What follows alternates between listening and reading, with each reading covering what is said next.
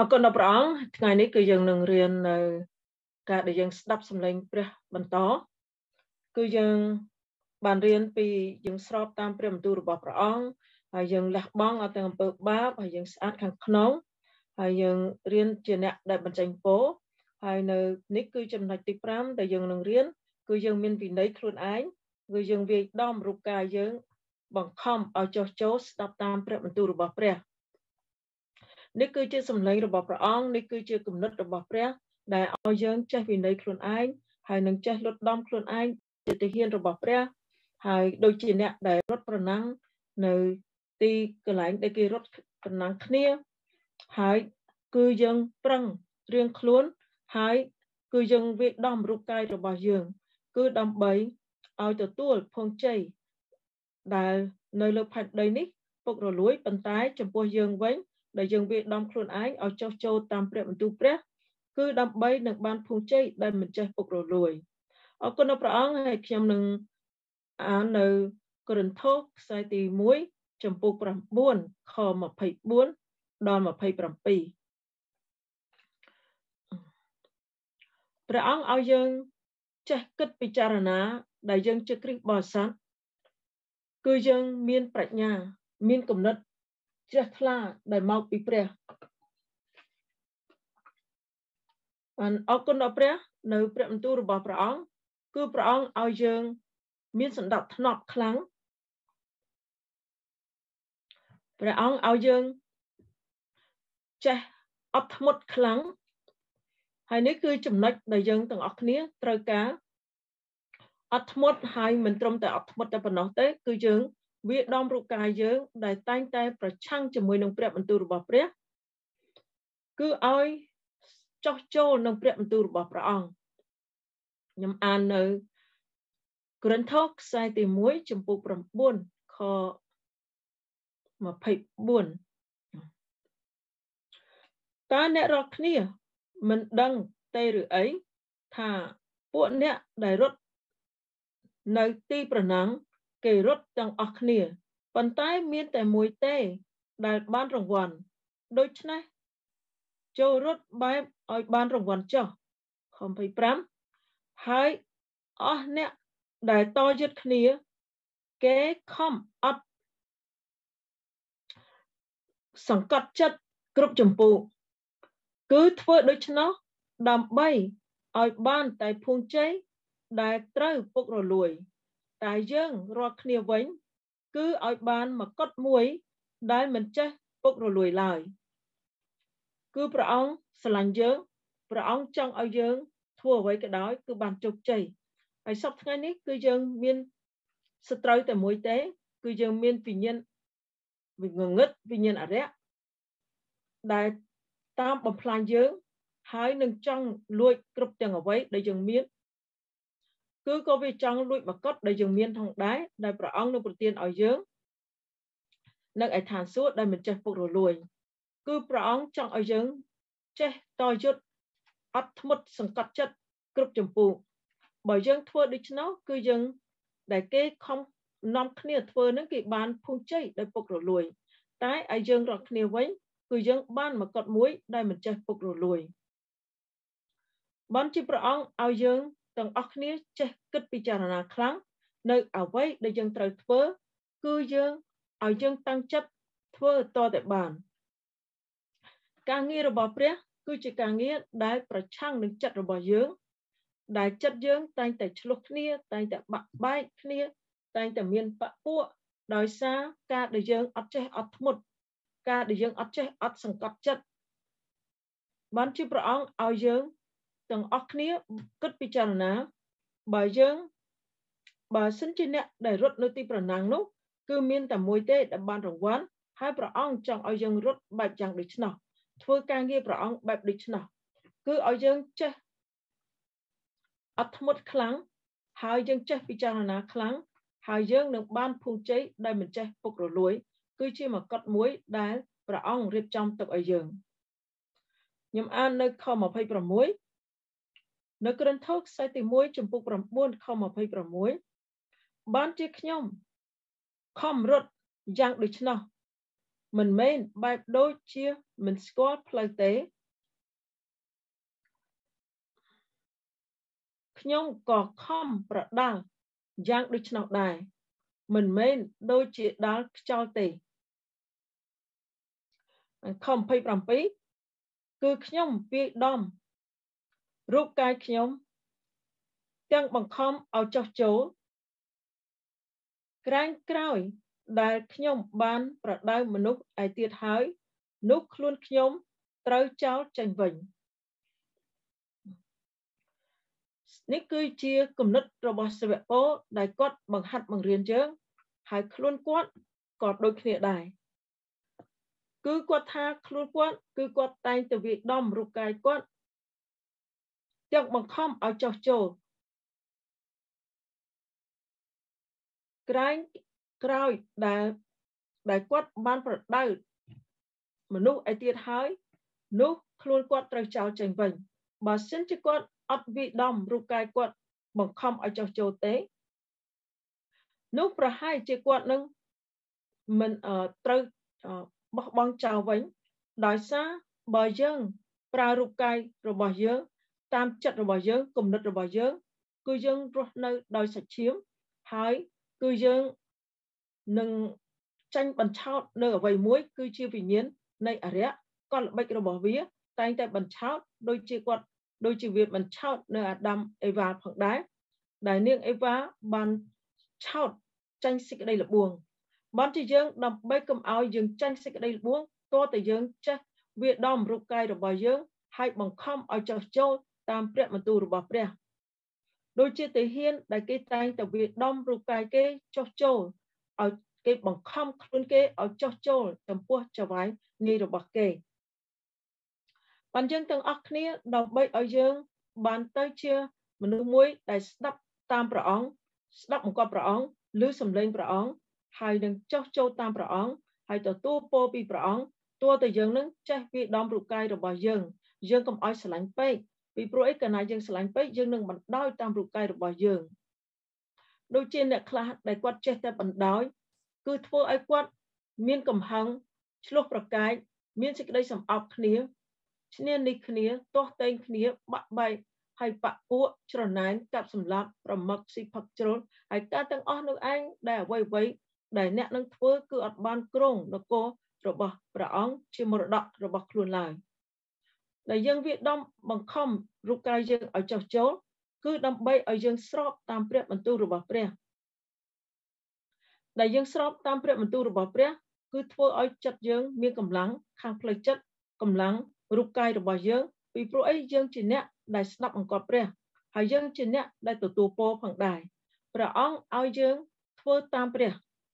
បើយើងធ្វើតាមចិត្តរបស់ព្រះ គឺយើងធ្វើត្រូវហើយយើងនឹងបានភូមិជ័យដែលមិនចេះស្រពោន ហើយតើតើយើងមានគំនិតមួយចេះវាដំរូបកាយយើងបង្ខំឲ្យចោះចូលស្វៈពោគឺគាត់សម្រេចចិត្តបញ្ញាចិត្តដូចជាទាហានរបស់ព្រះហើយគាត់ជាមនុស្សដែលស្មោះត្រង់ហើយយើងមិនអាចនឹងឲ្យរូបកាយយើងគ្រប់គ្រងយើងទេ យើងត្រូវតែឲ្យព្រះបន្ទូលរបស់ព្រះគ្រប់គ្រងលើរូបកាយយើងមួយជីវិតរបស់យើងដែលយើងរស់នៅនៅលើផែនដីនេះគឺយើងតែងតែមានឧបសគ្គឧបសគ្គមួយដែលធំជាងគេ គឺជាចិត្តរបស់យើងវាតែងតែចង់ធ្វើអ្វីដែលប្រដែលរឹងតតឹងជាមួយនឹងព្រះបន្ទូលរបស់ព្រះ ដែលអត់ស្របទៅតាមព្រះបន្ទូលរបស់ព្រះបើសិនជាស្របទៅតាមព្រះបន្ទូលរបស់ព្រះគឺយើងជាមនុស្សមួយដែលជាគំរូដល់មនុស្សឯទៀតគឺព្រះអង្គឲ្យយើងឧស្សាហ៍ព្រះអង្គឲ្យយើងស្មោះត្រង់ព្រះអង្គឲ្យយើងអត់ធ្មត់ហើយព្រះអង្គឲ្យយើងចេះស្រឡាញ់គ្នា ហើយចេះអត់ទោសឲ្យគ្នាកុំឲ្យធ្វើអ្វីដែលខុសឆ្គងជាមួយនឹងបងប្អូនយើងប៉ុន្តែយើងទៅទីណាក្តីគឺយើងតែងតែឆ្គងដោយសារយើងត្រូវយើងអត់បានវិដំរូបកាយយើងបានជាកូនរបស់ព្រះអង្គគឺព្រះអង្គថ្នមយើងប៉ុន្តែព្រះអង្គអត់ថ្នមរូបកាយយើងទេរូបកាយយើងគឺសម្រាប់ធ្វើតាមព្រះបន្ទូលរបស់ព្រះអ្វីដែលយើងដឹងអ្វីដែលយើងឮគឺយើងមានកោតដៅកាលណាមានកោតដៅ គឺចិត្តរបស់យើងនឹងឯងតែងតែប្រឆាំងជាមួយនឹងយើងគឺអត់ចង់ងើបរៀនព្រះបន្ទូលព្រះអង្គអត់ចង់ចេញទៅផ្សាយដំណឹងល្អមានចិត្តមួយខ្លាចគេ មានចិត្តមួយប្រចាំគ្នា មានចិត្តមួយចូលចិត្តឲ្យគេទៅមុន គឺព្រះអង្គចង់ឲ្យយើងទៅជាមនុស្សដែលដូចអ្នករត់ប្រណាំងអញ្ចឹងគឺរត់ឲ្យបានភុងជ័យដែលយើងរៀននៅព្រះបន្ទូលរបស់ព្រះអង្គគឺយើងរៀនឲ្យបានច្បាស់លាស់ ហើយព្រះអង្គចង់ឲ្យយើងស្ម័គ្រចិត្តដូចជាអ្នកដែលរត់យកពានរង្វាន់ដែលរស់នៅនៅលើផែនដីនេះគេហៅថាភួងជ័យដែលតែងតែពុករលួយយើងបានតែមកផ្លេតហើយនឹងបាត់ទៅ តែយើងដែលយើងខំវាដំរូបកាយយើង គឺយើងរកភួងជ័យមួយ ដែលមិនចេះពុករលួយ ដែលព្រះអង្គរាប់ថាជាមកុដ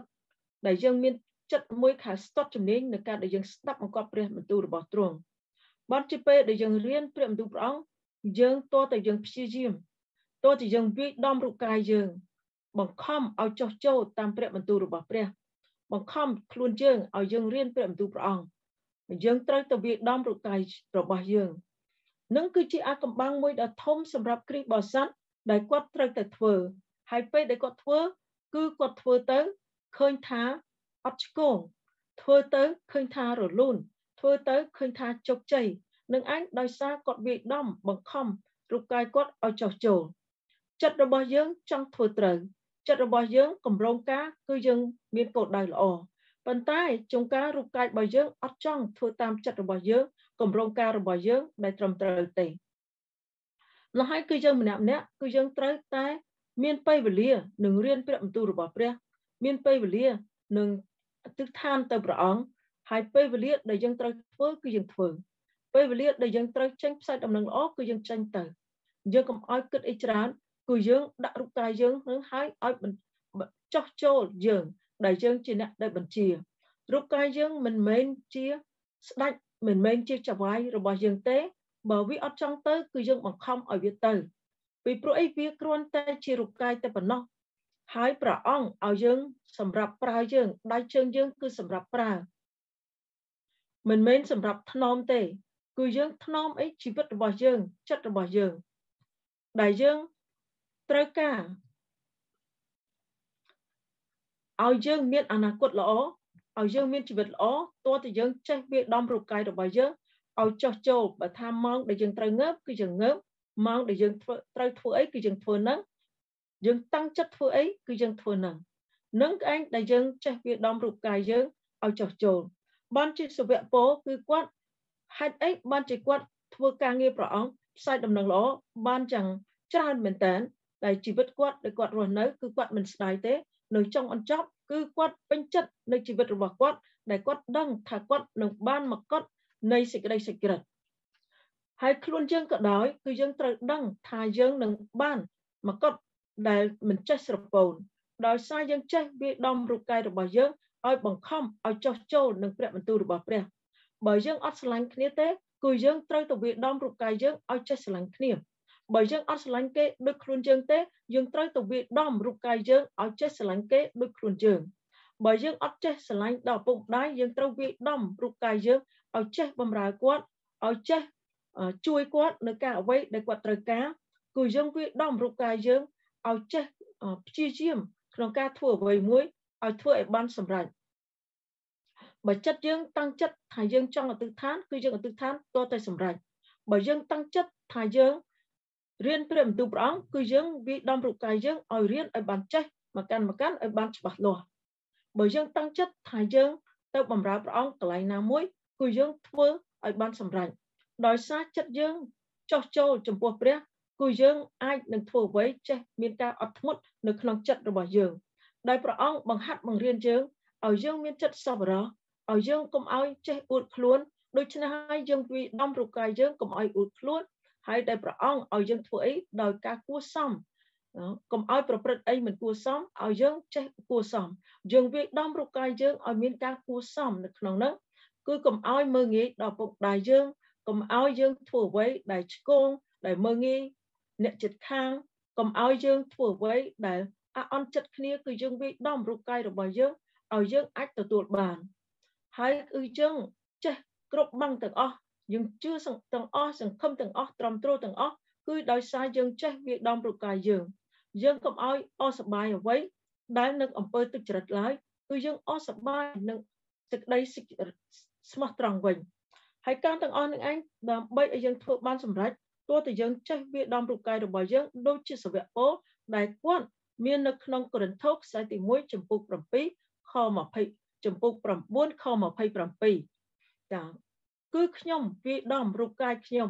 ទាំងបង្ខំឲ្យចោះចូលក្រែងក្រោយដែលខ្ញុំបានប្រដៅមនុស្សឯទៀតហើយនោះខ្លួនខ្ញុំត្រូវចោលចេញវិញបើសិនជាយើងប្រាប់គេឲ្យគេធ្វើប៉ុន្តែយើងអត់ធ្វើគឺខ្លួនយើងអត់ប្រយោជន៍អីបីទេ បានជាសវៈពលដែលយើងឃើញគាត់បានធ្វើការអស្ចារ្យគឺដោយសារគាត់អត់ស្រឡាញ់រូបកាយគាត់ទេគឺគាត់វាដំឲ្យចោះចូលតាមព្រះបន្ទូលរបស់ព្រះពីព្រោះអីពេលវេលាគាត់តិចដូច្នេះហើយគាត់ត្រូវតែធ្វើតាមព្រះអង្គគឺគាត់សិក្សាព្រះបន្ទូលរបស់ព្រះមុននឹងគាត់ចេញបម្រើព្រះអង្គគឺគាត់សិក្សាល្អិតល្អន់ដិតដល់បានជាគាត់ពេលដែលគាត់ចេញទៅគាត់អត់ខ្លាចនឹងខ្វះចំណេះវិជ្ជាណាមួយឡើយបានជាយើងម្នាក់ម្នាក់ យើងត្រូវវាដំរូបកាយយើងបង្ខំឲ្យចោះចូលរៀនព្រះបន្ទូលព្រះអង្គទោះតែចេះមកកម្មការនឹងហើយអធិដ្ឋានឲ្យបានច្បាស់លាស់ហើយរៀនឲ្យបានច្បាស់លាស់មានពេលវេលារបស់ព្រះដែលព្រះអង្គប្រទានឲ្យយើងឲ្យបានច្បាស់លាស់ត្រឹមត្រូវតាមប្រហាតីទ្រង់បានអរគុណដល់ព្រះអង្គឲ្យយើងចាំនៅកូរិនថូសខ្សែទី1ចំពុក9ពីខ24ដល់ខ27គឺព្រះអង្គថាឲ្យយើងដឹងថាអ្នករត់ដែលប្រណាំង គឺគេរត់ទាំងអស់គ្នាប៉ុន្តែមានតែមួយទេដែលបានរង្វាន់ដូច្នេះឲ្យរត់បែបជាឲ្យបានរង្វាន់យ៉ាងដូច្នោះចុះគឺព្រះអង្គឲ្យយើងលឿនឲ្យយើងរហ័សឲ្យយើងនឹងចេះខំប្រឹងស្ម័គ្រពីចិត្តឲ្យយើងធ្វើអីធ្វើតាមព្រះអង្គឲ្យបានមុនគេផងដែរបើសិនជាគេអ្នកដែលគេរត់ទីប្រណាំងដែលនៅខ25ហ្នឹងគឺគេខំអត់សង្កត់ចិត្តគ្រប់ចម្ពោះហើយដើម្បីឲ្យបានភូមិជ័យដែលពុករលួយតែយើងទាំងអស់គ្នាវិញ គឺយើងបានភូមិជ័យដែលយើងបានមកកត់មួយដែលមិនចេះពុករលួយនឹងគឺយើងបើយើងប្រៀបធៀបគឺយើងមានកម្លាំងបើយើងប្រៀបធៀបទៅអ្នកដែលរត់ដែលគេខំអត់សង្កត់ចិត្តអត់ធ្មត់គ្រប់បែបយ៉ាងគឺគេលុតដំខ្លួនគេបើសិនជាគេជាអ្នករត់គឺគេរត់ទាស់តែស្ទាត់គេរត់ទាស់តែលឿនលឿនជាងគេបានគេចេញទៅប្រឡងដែលធ្វើឲ្យគេជោគជ័យហើយយើងទាំងអស់គ្នាគឺយើងប្រណាំងប្រជែងជាមួយនឹងសត្រូវយើងដែលមានតែមួយ គឺវិញ្ញាណបរិយចាម្ល៉េះហើយគឺការទាំងអស់នឹងឯងដែលធ្វើឲ្យមិនដើម្បីឲ្យយើងឈ្នះទោះតែយើងស្គាល់ព្រះបន្ទូលរបស់ព្រះដើម្បីឲ្យយើងមានជ័យជំនះគ្រប់ពេលគ្រប់វេលាព្រះបន្ទូលរបស់ព្រះ គឺជាពន្លឺបើយើងមានព្រះបន្ទូលរបស់ព្រះ គឺយើង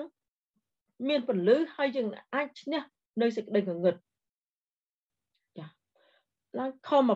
26បានជាខ្ញុំខំរត់យ៉ាងដូច្នោះ មិនមែនបែបដូចជាមិនស្គាល់ផ្លូវទេខ្ញុំក៏ខំប្រដៅយ៉ាងដូច្នោះមិនមែនដូចជាបែបដាល់ខ្យល់ទេគឺដែលគាត់ធ្វើនឹងគឺគាត់ធ្វើដោយខំខំរត់យ៉ាងដូច្នោះគឺសវៈពលគាត់ជាអ្នកដែលរត់យើងដូចគ្នាដែរតើតើយើងរត់បានជាយើងឈ្នះតើតើយើងខំតើតើយើងចេះវាដំរូបកាយយើងនឹងគឺព្រះអង្គឲ្យយើងចេះព្យាយាមតស៊ូ ហើយអត់ធ្មត់នឹងការដែលយើងមានភាពឧស្សាហ៍ជាខ្លាំង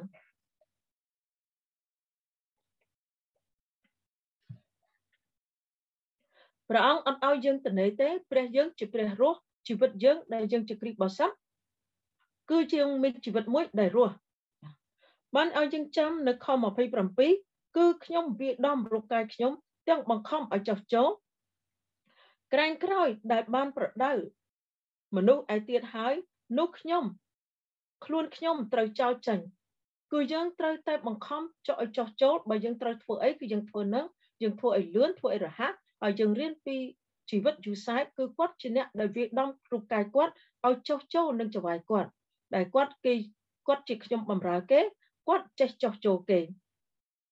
គាត់រស់នៅក្នុងគុកគឺគាត់ចេះវាដំរូបកាយគាត់ឲ្យចោះចូល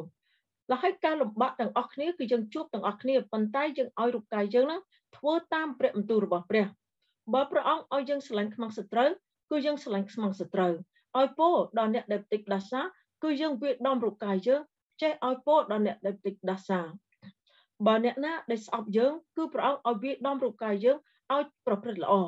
គឺយើងអធិដ្ឋានសូមព្រះអង្គជួយយើងហើយយើងត្រូវតែវាដំរូបកាយរបស់យើងដើម្បីឲ្យយើងនឹង ចេះស្រឡាញ់ដល់អ្នកដែលស្អប់យើងហើយយើងចេះអតិថានដល់អ្នកដែលធ្វើទុកបៀតបៀនយើងនឹងនៅម៉ាថាយចំពុក5ខ44ដើម្បីឲ្យយើងធ្វើជាកូនរបស់ព្រះ ដែលជាកូនរបស់ព្រះគឺយើងមានវិន័យចំពោះខ្លួនយើង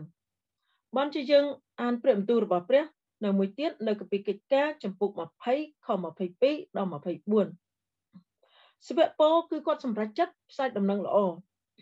ពេលដែលគាត់សម្រេចចិត្តផ្សាយដំណឹងល្អគឺគាត់លះបង់ជីវិតរបស់គាត់ខ្ញុំអាននៅកិច្ចការចំពុក20ខ22ឥឡូវនេះមើលខ្ញុំមានសេចក្តីបណ្ដាលក្នុងចិត្តចង់ទៅឯក្រុងយេរូសាឡិមឥតដឹងការអ្វីដែលនឹងកើតដល់ខ្ញុំនៅទីនោះទេខំ23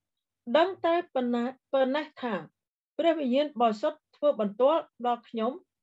នៅគ្រប់ទីក្រុងថា មានចំណង និងសេចក្តីវេទនា រងចាំខ្ញុំ មានស្អីរងចាំគាត់នៅឯក្រុងយេរូសាឡិមគឺមានចំណងនិងសេចក្តីវេទនាតើគាត់ញ៉ាអីតើគាត់នឹងកិច្ចទេតើគាត់នឹងមិនទៅទេ គឺឲ្យអ្នកគឺប្រអងឲ្យគាត់ធ្វើអីគឺគាត់ធ្វើនឹងបានយើងរៀនពីខមក ខ23យើងចូលទៅដល់ខ24ប៉ុន្តែនោះមិនអំពលអ្វីដល់ខ្ញុំទេខ្ញុំក៏មិនរាប់ជីវិតនេះទុកជារបស់ពិសេសដល់ខ្ញុំដែរឲ្យតែខ្ញុំបានបង្ហើយការរត់ប្រណាំងរបស់ខ្ញុំ ដោយអំណរចោះព្រមទាំងការងារ ដែលខ្ញុំបានទទួលអំពីព្រះអម្ចាស់យេស៊ូវគឺឲ្យខ្ញុំបានធ្វើបន្ទាល់សពគ្រប់ពីដំណឹងល្អនៃព្រះគុណព្រះវិញនៅកិច្ចការចំពុក20ខ24គឺបញ្ជាក់ថាគាត់ហ្នឹងវាដំរូបកាយគាត់មែនពីព្រោះអីគាត់គិតថារូបកាយគាត់មិនអំពលអ្វីសម្រាប់ជីវិតគាត់ទេនៅគាត់មិនរាប់ថាជីវិតរបស់គាត់នេះពិសេសទុកសម្រាប់ខ្លួនគាត់ទេ គឺគាត់ចង់បង្ហាយរូបបង្ហាយការរត់ប្រណាំងរបស់គាត់សាវកពោគឺគាត់មានការងារដែលគាត់ធ្វើគឺគាត់ត្រូវរត់ប្រណាំងរត់ប្រណាំងនឹងអីនឹងជីវិតគាត់ដែលខ្លីមានតិចតែប៉ុណ្ណោះគឺគាត់ត្រូវខិតខំធ្វើយ៉ាងណាក៏ដោយឲ្យតែគាត់នឹងហើយនៅការងាររបស់គាត់ឲ្យតែខ្ញុំបានបង្ហើយការរត់ប្រណាំងរបស់ខ្ញុំដោយអំណរចោះ ព្រមទាំងការងារដែលខ្ញុំបានទទួលអំពីព្រះអម្ចាស់យេស៊ូវគឺឲ្យខ្ញុំបានធ្វើបន្តសពគ្រប់ពីដំណឹងល្អនៃព្រះគុណព្រះវិញបានខំ24នេះឲ្យយើងចាំមួយជីវិតរបស់យើងដើម្បីឲ្យយើងធ្វើការងាររបស់ព្រះបានសម្រេចទោះតែយើងនឹងមានចិត្តសប្បុរសមានចិត្តទូលំទូលាយឲ្យយើងនឹងកុំឲ្យស្រឡាញ់រូបកាយនេះពីព្រោះអីរូបកាយនេះគ្រាន់តែសម្រាប់យើងប្រើតែប៉ុណ្ណោះ មិនមែនសម្រាប់យើងថ្នាក់ថ្នមទេគឺយើងថ្នមជីវិតរបស់យើងកុំឲ្យយើងពិបាកដើម្បីយើងកុំឲ្យពិបាកទោះតែយើងខំនៅការដែលយើងធ្វើតាមព្រះអង្គទោះតែយើងខំសិក្សាព្រះបន្ទូលរបស់ព្រះអង្គព្រះអង្គដូចជាយើងខំរកប្រាក់ហើយយើងកុំឲ្យស្រឡាញ់រូបកាយនេះយើងកុំឲ្យរាប់ជាពិសេសឡើយគឺយើងដូចជាទាហានរបស់ព្រះអង្គគឺគេប្រើរូបកាយគេដើម្បីនឹងបម្រើជាតិយើងជាទាហានរបស់ព្រះ គឺយើងប្រើរូបកាយរបស់យើងដើម្បីបម្រើការងាររបស់ព្រះ គឺជារាជរបស់ព្រះអង្គនគររបស់ព្រះអង្គឲ្យយើងនឹងវាដំបង្ខំឲ្យចុះចូលគឺយើងកុំឲ្យគិតថាជាអំពើអ្វីសម្រាប់យើងនៅជីវិតនេះខ្ញុំអាននៅកិច្ចការចំពុក20ខ24ប៉ុន្តែនោះមិនអំពលអ្វីដល់ខ្ញុំទេខ្ញុំក៏មិនរាប់ជីវិតនេះទុកជារបស់ពិសេសដល់ខ្ញុំដែរ ឲ្យតែខ្ញុំបានបង្ហើយ ការរត់ប្រណាំងរបស់ខ្ញុំ ដោយអំណរចោះព្រមទាំងការងារដែលខ្ញុំបានទទួលអំពីព្រះអម្ចាស់យេស៊ូវគឺឲ្យខ្ញុំបានធ្វើបន្ទាល់សពគ្រប់ពីដំណឹងល្អនៃព្រះគុណព្រះវិញគឺព្រះអង្គឲ្យយើងបើឱកាសងារដែលយើងទទួលពីព្រះអង្គមកគឺយើងធ្វើទីបន្ទាល់ ពីដំណឹងល្អនៃព្រះគុណរបស់ព្រះគឺយើងអត់មានអីទៀតនៅជីវិតនេះដែលយើងចែកចាយជារង្វាន់ទៅដល់ក្រុមគ្រួសារយើងបងប្អូនយើងក្រៅពីដំណឹងល្អទេបានជានៅខ24នេះគឺទី1កុំឲ្យយើងអំពុលអ្វីដល់ជីវិតនេះកុំឲ្យយើងរាប់រូបកាយយើងជាពិសេសដល់យើងឡើយគឺយើងចង់មានគោលដៅមួយ គឺទី2គឺនៅខ24គឺឲ្យយើង ឲ្យតែបានបង្ហាញការរត់ប្រណាំងរបស់យើងដោយអំណរគឺការងារដែលព្រះអង្គប្រទានឲ្យយើងគឺយើងត្រូវតែរត់ប្រណាំងនៅការងារដែលព្រះអង្គប្រទានឲ្យយើង ដែលរាប់ជាប្រគុណរបស់ព្រះអង្គគឺយើងធ្វើដោយអំណរព្រមទាំងការងារដែលយើងទទួលពីព្រះអង្គគឺយើងរាប់ថាការងារនោះពិសេសសម្រាប់យើងបានជាយើងទទួលហើយយើងធ្វើឲ្យសម្រេចគឺយើងទាំងអស់គ្នាផ្សាយដំណឹងល្អ ហើយយើងធ្វើម៉េចដើម្បីឲ្យយើងផ្សាយដំណឹងល្អទោះតែយើងស្គាល់ព្រះハតីព្រះអង្គយើងមានលក្ខណៈរបស់ព្រះអង្គយើងត្រូវតែរៀនព្រះបន្ទូលព្រះអង្គទាំងអស់គ្នាឲ្យបានពីលោកកបាត់ដល់វិវរណៈទាំងអស់គ្នាដើម្បីឲ្យយើងទទួលនៅជីវិតមួយដែលជោគជ័យគឺយើងជាអ្នកដែលស្ដាប់បង្គាប់ព្រះ ដែលយើងឮសំឡេងព្រះអង្គគឺយើងឮសំឡេងដោយសារយើងអានព្រះបន្ទូលព្រះពេលដែលយើងអានព្រះបន្ទូលព្រះអង្គពេលយើងដល់ចំណុចនេះ ថាមិនអំពលអ្វីមិនរាប់សំខាន់ជីវិតនេះរូបកាយនេះជាសំខាន់ឡើយឲ្យតែបានបង្ហាញការរត់ប្រណាំងរបស់ព្រះអង្គដែលការងារដែលព្រះអង្គដាក់ឲ្យយើងធ្វើម្នាក់ម្នាក់គឺទី1គឺយើងស្រឡាញ់ព្រះអង្គឲ្យអស់ពីចិត្តអស់ពីគំនិតអស់ពីព្រលឹងអស់ពីកម្លាំងរបស់យើងទី2គឺយើងស្រឡាញ់អ្នកជិតខាងដូចខ្លួនឯងហើយទី3គឺយើងបញ្ចុះបញ្ចូលឲ្យមានសិស្សបើយើងមានលក្ខណៈដូចជាព្រះអង្គហើយដែលយើងស្រឡាញ់ព្រះអង្គហើយ គឺយើងស្រឡាញ់អ្នកជិតខាងដូចខ្លួនឯងហើយយើងបញ្ចុះបញ្ចូលឲ្យមានសិស្សហើយគឺយើងត្រូវតែបង្ហាត់បង្រៀនគេឲ្យគេស្គាល់ព្រះអង្គដែរស្គាល់ព្រះបន្ទូលព្រះអង្គដែរទោះតែយើងនឹងខំនាំគ្នាវាយដំរូបកាយរបស់យើងហើយបង្ហាញការរត់ប្រណាំងរបស់យើង គឺជាការងារដែលព្រះអង្គឲ្យយើងគឺព្រះបន្ទូលរបស់ព្រះពេលដែលយើងអានគឺយើងនឹងដឹងថាយើងនឹងធ្វើអ្វីត្រូវធ្វើអ្វីខុសហើយយើងដឹងថាយើងទាំងអស់គ្នាត្រូវតែចេះ មានលក្ខណៈរបស់ព្រះគឺយើងស្រឡាញ់ព្រះអង្គហើយយើងរស់នៅដូចជាព្រះអង្គគឺយើងចេះស្រឡាញ់អ្នកជិតខាងដូចខ្លួនឯងយើងចេះស្រឡាញ់ខ្មាំងសត្រូវហើយយើងស្រឡាញ់គ្នាទៅវិញទៅមកដូចជាព្រះអង្គដែលស្រឡាញ់យើងហើយគឺយើងត្រូវតែមានចេះផ្សាយដំណឹងល្អគឺជាដំណឹងល្អនឹងឯងដែលយើងយកទៅឲ្យគេនឹងគឺចំណុចទី3ហើយចំណុចទី4គឺយើងបង្រៀនគេយើងស្រឡាញ់ព្រះអង្គស្រឡាញ់អ្នកចិត្តខាងហើយយើងផ្សាយ នៅដំណឹងល្អឲ្យគេបានទៅឋានសួគ៌ដែរហើយយើងបង្ហាត់បង្រៀនគេពីនគរឋានសួគ៌អរព្រគុណដល់ទ្រង់ដែលយើងទាំងអស់គ្នាបានរៀនព្រះបន្ទូលព្រះអង្គគឺយើងដឹងថាយើងទាំងអស់គ្នានឹងទៅនគរឋានសួគ៌ទាំងអស់គ្នាដោយសារយើងទទួលព្រះអង្គដោយសារយើងស្ដាប់បង្គាប់ព្រះអង្គយើងធ្វើតាមបំណងព្រះហត្ថីព្រះអង្គនោះឯងដែលយើងបានទ្រព្យសម្បត្តិនៅឯឋានសួគ៌បន្ថែមទៀតចាពេលដែលយើងអាននៅវិវរណៈចំពុក21 22គឺយើងនឹងឃើញអនាគតរបស់យើង ដែលយើងមានហេតុផលដែលយើងនឹងផ្សាយដំណឹងល្អគឺយើងទាំងអស់គ្នាត្រូវវាដំរូបកាយហើយយើងបង្ហាញនៅការងារដែលព្រះអង្គប្រទានឲ្យយើងជាការងារដ៏ខ្ពស់បំផុតគឺជាប្រគុណរបស់ព្រះអង្គគឺជាដំណឹងល្អនៃប្រគុណរបស់ព្រះអរគុណដល់ព្រះអង្គដែលយើងបានរៀនគឺយើងវាដំរូបកាយរបស់យើងឲ្យយើងចោះចូលតាមព្រះបន្ទូលរបស់ព្រះអង្គដែលពេលដែលយើងព្រះអង្គឲ្យយើងធ្វើអីគឺយើងធ្វើនឹង ចាដើម្បីឲ្យយើងធ្វើបានទោះតែយើងតាំងចិត្តជាទាហានរបស់ព្រះអង្គហើយយើងនឹងវាដំរូបកាយយើងហើយយើងកុំឲ្យស្រឡាញ់រូបកាយនេះដែលរាប់ជាពិសេសនាំឲ្យយើងធ្វើការងារព្រះអង្គទៅអត់បានដំណើរការទៅមុខបានអរគុណដល់ទ្រង់គឺយើងនឹងចងចាំផងដែរនៅកិច្ចការទៅពីកិច្ចការចំពុក20ខ22ដល់24ចាអរគុណដល់ព្រះអង្គ ប្រវត្តិបិតាដែលគង់នៅឋានសួគ៌អរប្រគុណដល់ទ្រង់ដែលព្រះអង្គជាព្រះព្រះអង្គមានចិត្តសប្បុរសចំពោះកូនទាំងអស់គ្នាគឺព្រះអង្គឲ្យកូនមានຂ្នាតដើម្បីនឹងធ្វើការងាររបស់ព្រះគឺឲ្យចេះនឹងវាដំរូបកាយខ្លួនឯងឲ្យចោះចូលនឹងព្រះបន្ទូលរបស់ព្រះគឺមានការងារដែលត្រូវការរត់ប្រណាំងឲ្យបង្ហាញនៅការងារដែលព្រះអង្គដាក់ឲ្យធ្វើគឺជាព្រះបន្ទូលរបស់ព្រះអង្គព្រះអង្គឲ្យគឺសូមឲ្យគុណបានចេះព្រះបន្ទូលព្រះអង្គទាំងអស់គ្នាពីវិវរណៈ ពីលោកកបាត់ដល់វិវរណៈដោយច្បាស់លាស់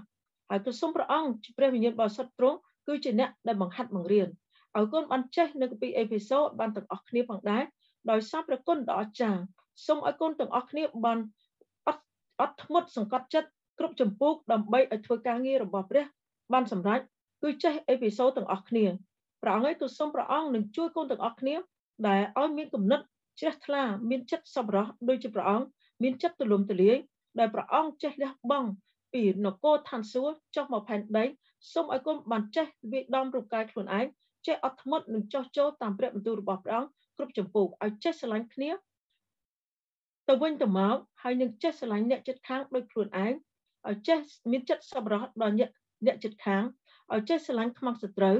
ឲ្យចេះធ្វើល្អចំពោះអ្នកណាដែលស្អប់ព្រះអង្គឯងក៏សូមព្រះអង្គនឹងជួយកូនទាំងអស់គ្នាឲ្យបានធ្វើការទាំងអស់នេះបានសម្រេចតាមប្រហាតិទ្រង់ក៏ សូមអធិដ្ឋានក្នុងព្រះនាមព្រះយេស៊ូវគ្រីស្ទអាមែន